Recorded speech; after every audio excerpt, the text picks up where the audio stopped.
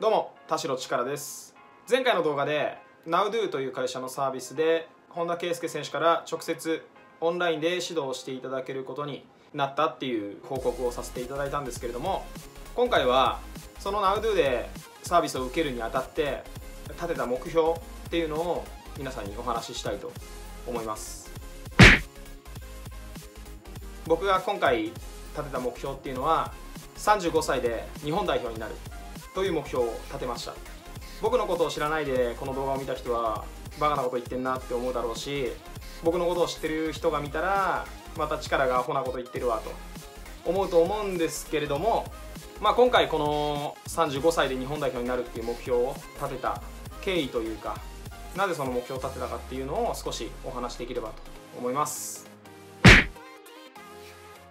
中学高校とかそういう学生時代っていうのは僕は全然まあ、今もそうなんですけどうまくなかったしチームの中心っていう選手でもありませんでした、まあ、その中で常に自分の中では高い目標を持ってプロになるっていう思いでずっとサッカーに取り組んできました、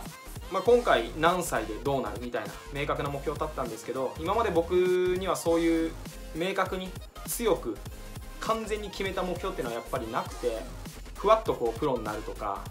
頭の中では日本代表かっこいいなとかプロかっこいいなって思ってそこに向かってやってたつもりではいたんですけど高校卒業してアルゼンチンに行ってその場その場ではしっかり頑張ってたけどやっぱりアルゼンチンに行ったことで少し満足してた部分もあっただろうし帰国して J リーグのチームは無理だったけど JFL のチームに入ったことで、まあ、そこにはもともと世代別の代表に入ってた選手だったり J リーグでプレーしてた選手っていうのもいてそういう人たちとプレーすることでどこかやっぱりその場で満足してるというかそういう部分があったと思います。その後も地域リーグとかまあ海外に行ってもそうですけどヨーロッパでチャンピオンズリーグ出るって言ってヨーロッパ行って行ったことで少し満足してしまってる。結局何も残せずに3ヶ月で帰ってきて働かざるを得なくてサッカーもできずに働いてとか。今思えばなんか辛かった思い出にも一見見えなくもないですけどそれはただただ自分が弱かった自分の思いが弱かっただけで本当に強い気持ちでああなりたいこうなりたいっていう常に思い続けて常に強い気持ちでやり続けることはできなかったかなと思います。その時その時を振り返れば一生懸命頑張ってました。上に行くためプロでやるため J リーグに行くため一生懸命やってました。それは間違いないです。それは自分に誇りを持って言えるんですけどでも今振り返ればもっとできたしもっと思い続けられたしどこかその環境に満足しちゃってる自分がいたのかなと思いました。で今回まあ膝の前十靭帯の手術をしたりとかその後クラウドファンディングさせてもらってでこの NowDo で本田圭佑選手から直接指導をしてもらえることになってここでやっと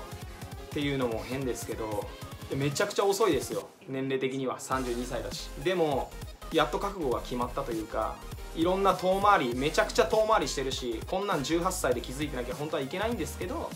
自分が本当にどうなりたいのか何を目指したいのかっていうふうに自問自答した時に日本代表になりたいっていう答えしかなかったです。いやでもそれはおこがましいとかちょっとやっぱ考えたしいろいろまた頭の中で考え直すというかいろいろ思ったりもしたんですけどどういうふうに考えても結局最後にやっぱり日本代表になりたいっていう思いしかなかったのでそれを目標に掲げました。でリミット35歳。もうこれがもうギリのギリかなと思ってまあもう今で今でさえもうほぼほぼゼロに近い可能性としてはほぼほぼゼロに近い状態だと思ってます。ただ現役でいる以上完全なゼロになることはないのでその可能性を少しでも増やす作業をこの3年間死ぬ気でやっていきたいと思います。過去のことをね振り返って何やってたんだって思うけどその遠回りを経てこの32歳の自分が今この気持ちこのモチベーションになれたことが僕にとっては重要でこの遠回りが最速のここにたどり着く方法だったんだと思ってます。なのでまず35歳まで本気で日本代表を目指してサッカーに